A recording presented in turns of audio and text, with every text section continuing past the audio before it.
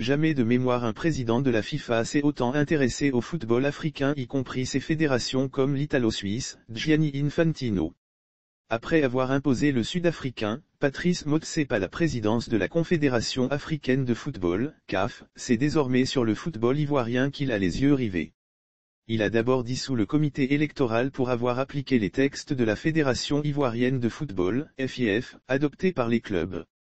Ensuite, il a mis en place un comité de normalisation, dirigé par Madame Deao Mariam Gabala et qui prend les ordres depuis Zurich et des conseillers officieux tapis dans l'ombre à Abidjan.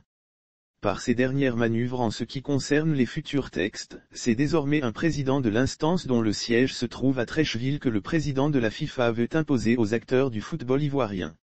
Au nom d'une certaine démocratie que l'on pourrait assimiler au néocolonialisme, Gianni Infantino réduit le nombre de parrainages et supprime la caution pour la candidature à la présidence de la FIF ce qui existe ailleurs. Une ingérence qui ne pourrait prospérer sur le vieux continent, qu'il veut faire avaler aux sportifs ivoiriens avec sa femme de main, Mariam Deao Gabala, qui use de tous les stratagèmes dont elle seule a le secret, pour prendre les décisions de l'Italo-Suisse comme la parole de l'Évangile, loin des réalités footballistiques ivoiriennes qu'elle et ses collaborateurs ignorent d'ailleurs. Gianni veut-il vraiment que la crise qui secoue le football ivoirien depuis des années prenne fin? La mission de la FIFA qui est annoncée en Côte d'Ivoire le 1er décembre prochain devra répondre à cette question.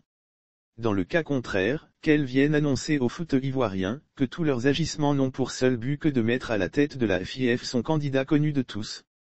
Désormais on voit le dos du nageur, alors que le président de la FIFA nomme rapidement son candidat pour que les Ivoiriens se consacrent sur la camp prévue en janvier au Cameroun et mettre fin à la comédie de Deao Gabala et son Connor.